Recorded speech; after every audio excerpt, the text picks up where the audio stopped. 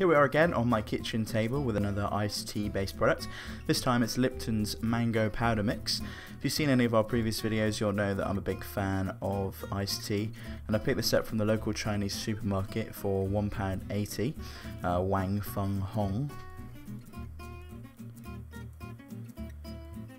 On the back is where all the good stuff is. Uh, we can either make a picture um, which says something about cups, which means nothing in this country, um, or a glass. I think we'll probably just go for a glass this time.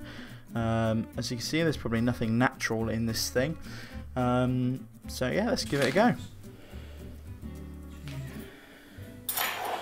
So it's the, it's the big one.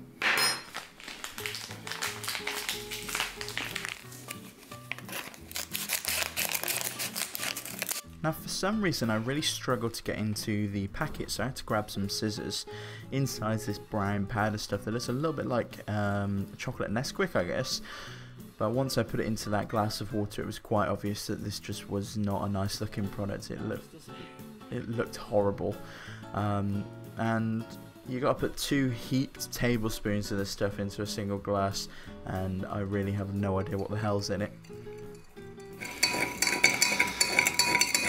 Is that right?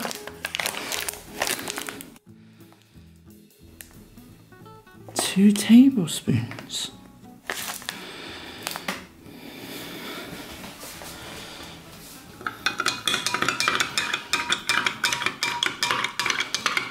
Now this stuff does taste like mango, but there's no way I could drink a whole glass of it.